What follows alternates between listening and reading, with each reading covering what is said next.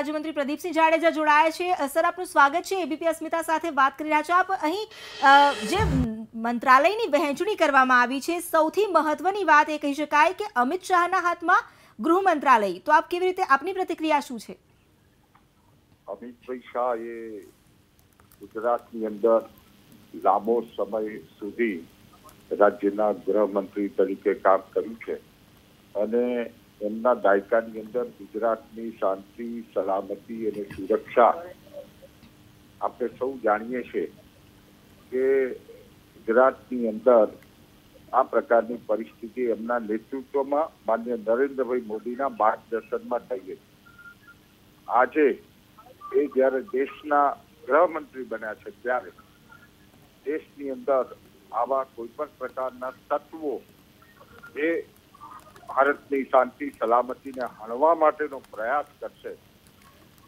અમિત શાહ એક એવા સક્ષમ નેતૃત્વ છે એ ભારતના સીમાડાઓમાંથી આરપારથી થતો કોઈપણ પ્રકારનો આતંકવાદ હોય કે આંતરિક ચેલેન્જ હોય, કોઈ પણ પડકાર હોય, આ પડકારને પ્રબળ રાજકીય ઈચ્છા શક્તિના આધાર ઉપર પરિણામલક્ષી કરવાનો જેનામાં શક્તિ છે, સામર્થ્ય છે.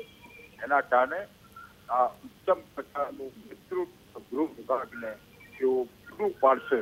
હું મારું સ્પષ્ટ માનું બિલકુલ. અહીં એ પણ એક વાત મહત્વની છે કારણ કે અમિત શાહ અને ગુજરાતમાં પણ તેમનો એટલો જ અનુભવ.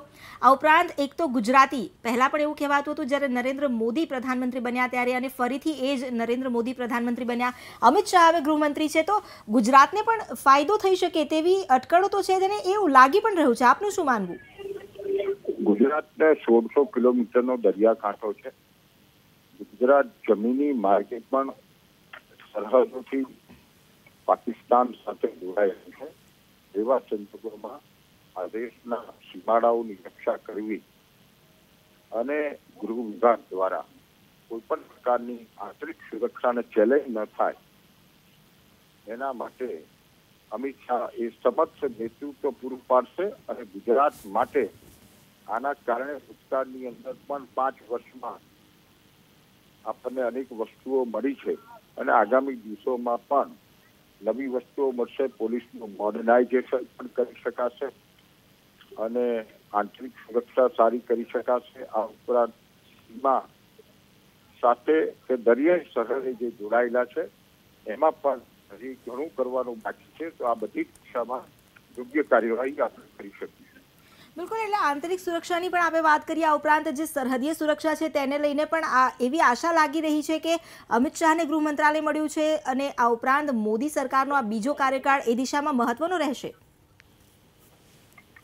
ચોક્કસ દેશમાં પ્રગતિ, વિકાસની સાથે સૌથી અગત્યનું કોઈ પાસું હોય તો પ્રજાની અપેક્ષા આંતરિક સુરક્ષાની અપેક્ષા છે.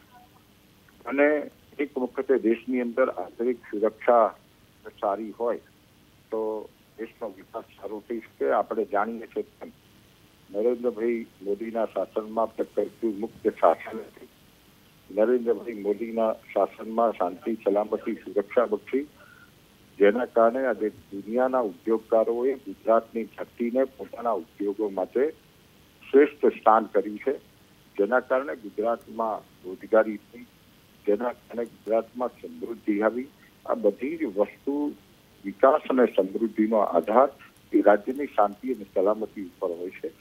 તેમ આગામી દિવસોમાં રાષ્ટ્રની શાંતિ અને સલામતીનો દોર એમના હાથોમાં છે. જેમ ગુજરાતમાં એમને સફળતા મળી હતી, એમ દેશની શાંતિ, સલામતી અને સુરક્ષા માટે પણ એમને ચોક્કસ સફળતા મળશે હું દ્રઢપણે માનું છું.